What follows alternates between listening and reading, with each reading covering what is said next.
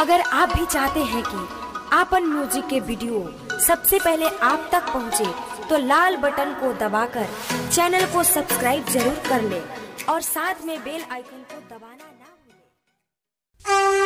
बोलो प्रेम से आमी वाली मैया की।